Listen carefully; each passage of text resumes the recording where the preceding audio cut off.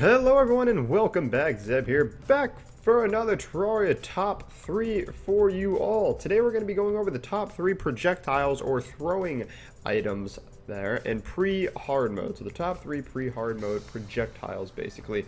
Kicking it off on our number 3 spot is going to be Molotov Cocktails. Now Molotov Cocktails have been uh, nerfed. I was going to say buffed. I was like, the other thing of buffed have been nerfed. Otherwise, they would be higher on the list. But they were nerfed.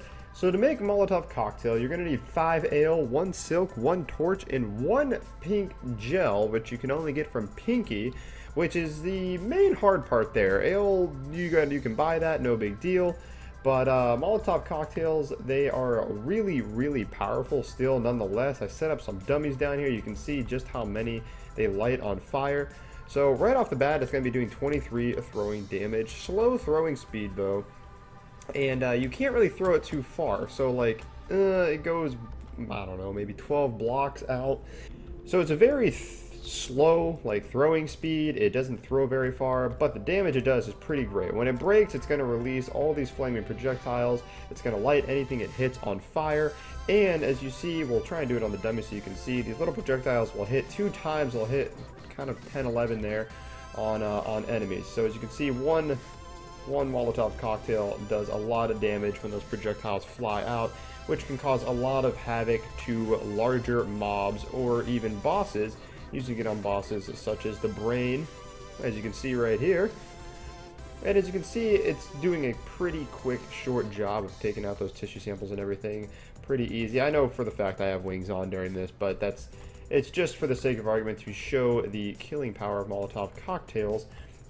So the fact that you need pink gel for it, though, really bogs down the utility of this because pinkies are really rare as it is. You only need one pink gel, I understand, but even that being said, you also need five ale. It is going to make five Molotov cocktails, but ale also something you have to buy, and pinkies pretty hard to come by as far as, you know, actually getting a lot of these. If you're going to throw, you know, 99 of these at a boss or something, well, that's a lot of pink gel that you're going to need, and that's a lot of ales that you're going to need as well. So uh, the materials used to make this is a little harder, which is uh, why it was nerfed, because it is such a powerful weapon. But regardless of that, you can get it as early on in the game as you want, or as lucky as you are to find a pinky, and uh, maybe if you get a uh, raining slime from the sky, it definitely would be a lot easier to uh, get that pink gel. But the fact that it was nerfed a little bit is going to be the reason why it's going to land us at the number three spot here, everyone. Coming in at our number two spot, everyone, is going to be the Bone Javelins. Bone Javelins are incredibly powerful new Terraria 1.3 throwing item, a javelin, as you can see. Uh, one of the coolest effects of these, though, is that, well, I am up here on this thing. Let's throw it into a vulture and uh, watch that vulture fly around. One, it sticks into him. Two, as you see right there, it does a continuous amount of 3 damage as it is sticking into them. Now, this will multiply with the more that you have into them, but it'll only multiply up to 18. I will chuck a few of these into a uh, unfortunate mannequin here, as you will see.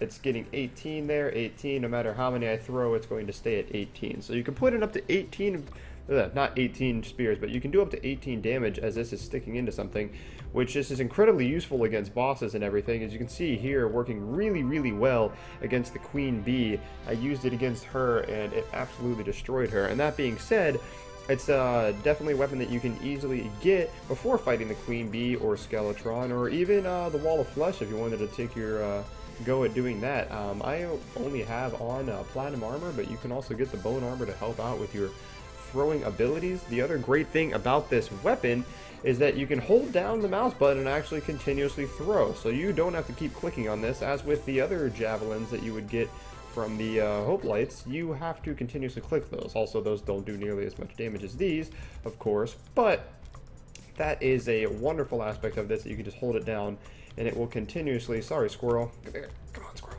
I need to kill you. Yes. So that is a wonderful effect also of these. So the bone javelins you get in the underground uh, desert here, kind of where we are at right now. And if you go down here in the underground desert, actually, you'll end up finding yourselves pretty shortly, and I did not even map this out, but uh, you end up finding yourself some fossils in here. and you will mine those fossils and you put them into an extractinator you can turn them into sturdy fossils from the extractinator which one sturdy fossil will get you 15 of these bone javelins unfortunately I don't see any of these fossils in here but very very noticeable. I don't want to go too far down into there. So you need a nightmare pickaxe or the equivalent of that to mine the fossils and turn them into sturdy fossil so this means that you are going to have to kill the eye and the brain or the eater of worlds before you can get these javelins, which is why they're going to be landing at our number two top pick instead of higher, since you can get them uh, not so early in the game, but they are still a super, super powerful javelin. Very, very good at taking out bosses, in my opinion, and uh, definitely earning itself. It's number two top spot. And coming in at our number one top spot, everyone, is going to be the Frost Daggerfish. You don't know what the Frost Daggerfish are.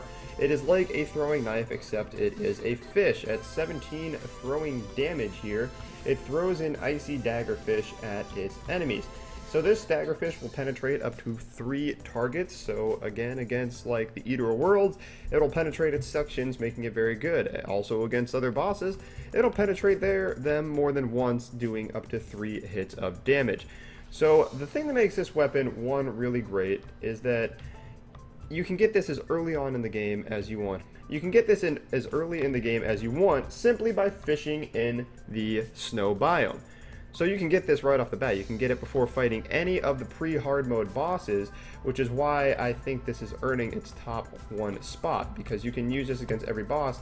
That and its power, I've used this against basically every boss except the Eater, um, excuse me, except the Wall of Flesh, and it does a great job of killing all of them. It has a very fast throwing speed, it has a very high amount of damage. You do have to continuously click, unfortunately, to throw this, but the such high damage rate, the fact that it penetrates three sections, the fact that you can get it immediately once you start the game, simply by even just using a wooden wooden fishing rod and a, a bug net, or if you get, which very simple to get, you can use this against every single boss, and it will help you out with every pre-hard mode boss if you so chose to use it but it would easily help you get by the eye and the brain or the eater of worlds which are those first couple bosses that you normally don't have any special weapons going into fighting.